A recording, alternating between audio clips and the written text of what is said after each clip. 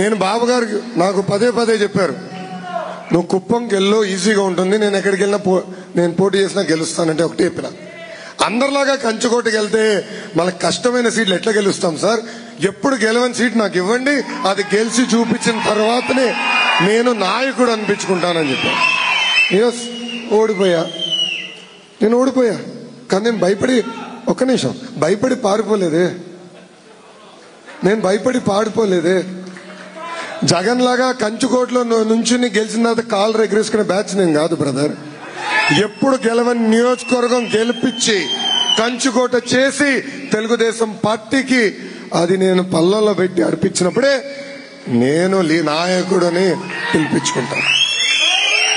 అది ఈ లోకేష్కున్న చిత్తశుద్ధి.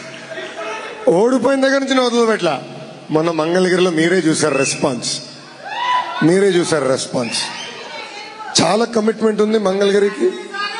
ఓటమి వల్ల ఏం ఏమవుదు బ్రదర్ ఒక ఎన్నికలు మొదటి ఎన్నికలు ఓడిపోతాం కూడా ఒక రకంగా నాకు మంచిది. చాలా నేర్చుకున్నా. నేను చాలా తెలుసుకున్నా. నన్ను బాగా తయారు చేసింది ఈరోజు నాలో కసి పెంచింది ఈరోజు ఆ కసే ఆ కసే. మనకి ఫ్రైడే కోర్టు లేదు కదా. వారానికి మూడు రోజుల హాలిడే లేదు కదా. ఆకసే. ఈ లోకేష్ ఒక్క ఒక్కరోజు బ్రేక్ లేకుండా నడిపిస్తుంది కార్యకర్తలు కూడా చెప్తున్నాం. రేపు మన అధికారంలోకి వచ్చిన తర్వాత కూడా నిరంతరం మీకు అందుబాటులో ఉంటాడు ఈ లోకేష్. ఇక్కడున్న చాలా మందికి తెలుసు. రాత్రి మెసేజ్ పెట్టిన అర్ధరాత్రి అయినా నేను రిప్లైలు కొడతా. ఇమ్మీడియట్గా ఇష్యూ ఉంటే నేను స్పందిస్తా. హౌస్ లీగల్ హెల్ప్ కావాలంటే యుద్ధ ప్రాతిపదికంగా పార్టీ ఆఫీస్ కూడా అర్ధరాత్రి లేపిన రోజులు ఉన్నాయి అలానే మీకు అండగా నిలబడతా. ఇంకో పక్కన ఈ రోజు పెద్ద ఎత్తున వైకాపా పార్టీ నుంచి కూడా తెలుగుదేశం పార్టీలో చేరేదానికి చాలా మంది నాయకులు కార్యకర్తలు అందరు కూడా వచ్చారు. వాళ్ళందరినీ మనస్ఫూర్తిగా తెలుగుదేశం పార్టీకి ఈ సభాముఖంగా ఆహ్వానిస్తున్నారు వాళ్ళందరినీ కూడా మీరు అడగాలి కొంచెం. తెలుగుదేశం పార్టీ కార్యకర్తలు అడగాలి. ఆ పార్టీలో కార్యకర్త చనిపోతే కనీసం ఆర్థిక సాయం ఇవ్వడండి వాళ్ళ నాయకుడు. అలాంటిది ప్రమాద బీమా ద్వారా వంద కోట్ల రూపాయలు కార్యకర్తలకి చెల్లించిన ఏకైక పార్టీ తెలుగుదేశం పార్టీ. ఎంతో మంది పిల్లల్ని చదివించాం. ఎంతో మంది కార్యకర్తల పిల్లల్ని చదివించాం. ఇది మంది ఒక పెద్ద కుటుంబం. ఇది దయచేసి వెంకట్రావు గారు కూడా గుర్తు పెట్టుకోవాలని ఈ సభాముఖంగా నేను ఆయన కోరుతున్నాను. మాకు ఒక నిమిషం. మాదంతా చించినాట్లో అలుగుతామండి ప్రోటోకాల్లో కాఫీ టీలో పేపర్ విషయంలో అలుగుతాం మేము అంతే. ఇక్కడ ఉన్న కార్యకర్తలు తెలుగుదేశం పార్టీ కార్యకర్తలు గొంతుమ్మ కోరికలు ఎవరికి ఉండదు. మేము కోరేది గౌరవం. మేము కోరేది గౌరవం. వచ్చినప్పుడు గౌరవంగా పలకరిస్తే అది మాకు కొండంత బలం. ఇది ఇప్పుడు కాదు. అన్న ఎన్టీఆర్ దగ్గర నుంచి ఉంది మాకు అది. ఎవరన్నా కార్య కార్యకర్తలు వెళ్తే ఏం బ్రదర్ ఇక్కడికి వచ్చినావు? అంటారు. ఏంటి? ఏం సమస్య? అంటారు. అది మాకు అలవాటైంది. మాకు అధ్యక్షుల వారు అంత దగ్గర అందుబాటులో ఉండడం వల్ల మాకు అది అలవాటైంది. దాని తర్వాత ఇంకా చంద్రబాబు నాయుడు గారు వస్తే నిరంతరం అందరితో మాట్లాడతారు అందరి అభిప్రాయాలు తెలుసుకుంటారు కార్యకర్తల దగ్గర దగ్గరగా ఉంటారు. వేదికమైన మండల పార్టీ అధ్యక్షులు కానీ వేదిక కింద ఉన్న ఇతర ఇతర సీనియర్ నాయకులు కష్టకాలాల్లో పార్టీ జెండాలు మోసిన వ్యక్తులే. వాళ్ళందరికీ మనం గౌరవించాలి కలిసికట్టుగా పనిచేయాలి.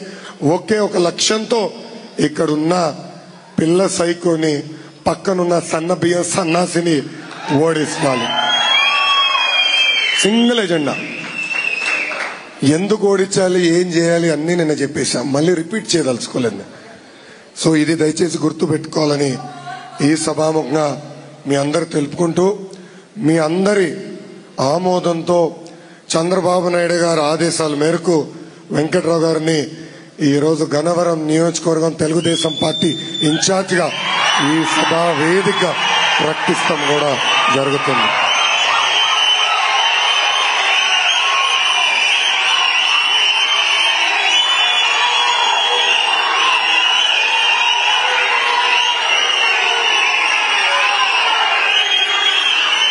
ఒక చిన్న విషయం.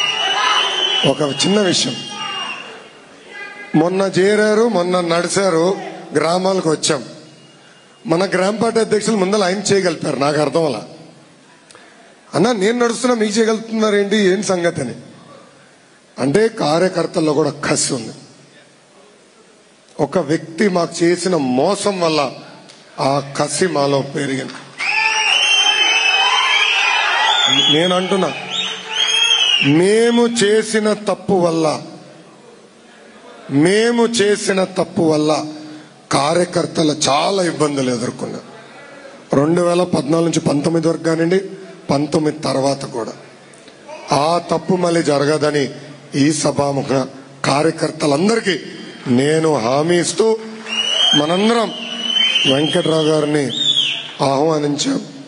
కష్టపడదాం సమిష్టిగా పోరాడదాం మళ్ళీ గడ్డ పైన ఇరవై ఇరవై నాలుగులో పసుపు జెండా ఎగరేద్దామని ఈ సభాముఖంగా మీ అందరు తెలుపుకుంటూ గతంలో ఎట్లయితే నియోజకవర్గాన్ని అభివృద్ధి చేశాము గతంలో ఎట్లయితే అనుకోకుండా హెచ్సిఎల్ని ఇక్కడ తీసుకొచ్చి అనేక పరిశ్రమలు తీసుకొచ్చామో అదే విధంగా కాదు రెట్టింపు గన్నవరం నియోజకవర్గ అభివృద్ధి చేసే బాధ్యత మీ లోకేష్ తీసుకుంటాడని ఈ సభాముఖంగా నాయకులకి కార్యకర్తలకి నేను హామీ ఇస్తూ నాకు ఈ అవకాశం ఇచ్చిన మీ అందరికీ పేరు పేరున నా హృదయపూర్వక ధన్యవాదాలు తెలుపుకుంటూ మీ అందరి దగ్గర నుంచి సెలవు తీసుకుంటున్నా జోహార్ అన్న ఎన్టీఆర్. జోహార్ అన్న ఎన్టీఆర్. చంద్రబాబు నాయుడు గారి నాయకత్వం. చంద్రబాబు నాయుడు గారి నాయకత్వం. జై హింద్. జై హింద్. లోకేష్ గారి నాయకత్వం. లోకేష్ గారి నాయకత్వం. అందరూ గట్టిగా ఎందుకంటే ఇవాళ మీకు ఇన్ఛార్జ్ని కూడా అనౌన్స్ చేశారు. ఈ రాష్ట్రంలోనే